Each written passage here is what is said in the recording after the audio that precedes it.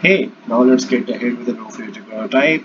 So this is our particular wireframe and now we are just moving ahead with the another frame adding that's IMAX. So in previous video just made wireframe we have our particular search bar and we have Google written with photo style and navigation bar also and we have this particular ellipse shape 6 option.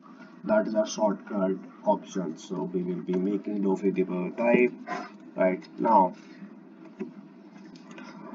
so we will be making one rectangle all over our screen and then we will be getting ahead with the next stuff and we will be changing this color to the white.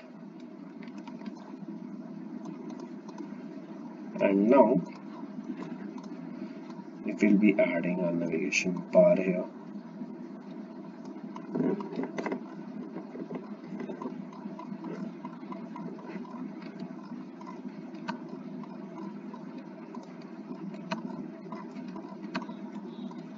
You can copy this can copy it again and then push it towards the upper part. We will be making this whole white with the drop shadow effect and drop shadow effect will be 2 and 2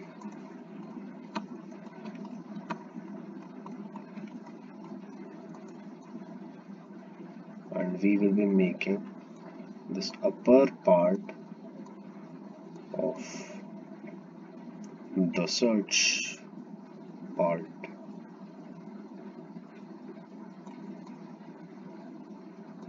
Here.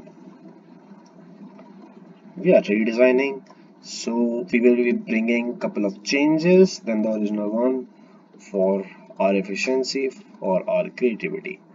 And here you can see it is in the center we will be making this all copy and paste towards here. We will change this to Poppins my favorite style on lightworks not at all regular. Make it to the center.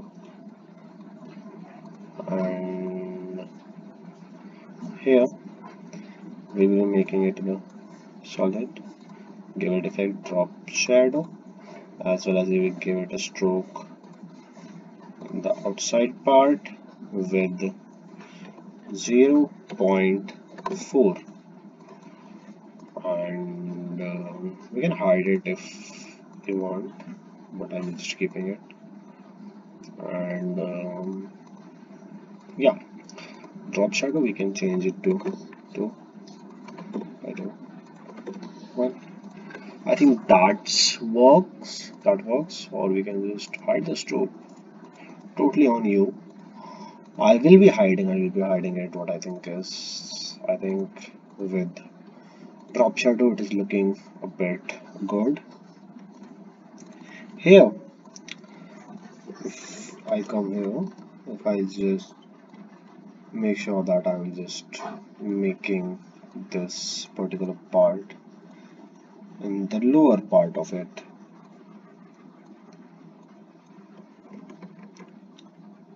For the text purpose that works or not? I will just explore it. Just make sure that I'm putting it like 120 and will be putting the stroke also. The stroke is not looking good at all. I will be removing it? I think this totally works. And in further videos I will be just explaining how to just make this particular shortcuts more engaging. So let's get into the next video